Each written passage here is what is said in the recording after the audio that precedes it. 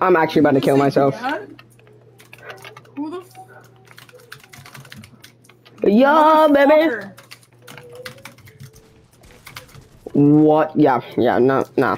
I'm cheating. I'm cheating, by the way. I can tell.